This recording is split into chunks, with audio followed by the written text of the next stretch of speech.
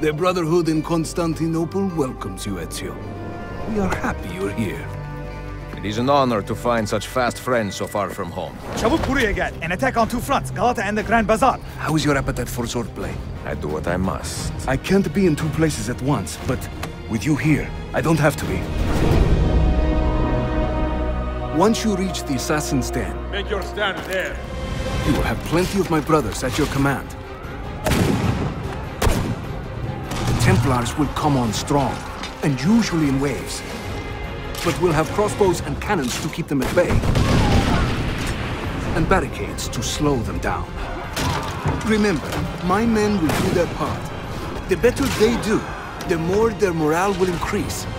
And that means more men fighting by your side.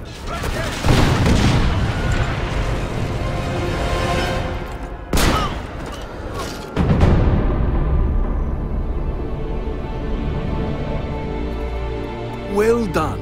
I have a good feeling about you, Ezio. Constantinople is in capable hands.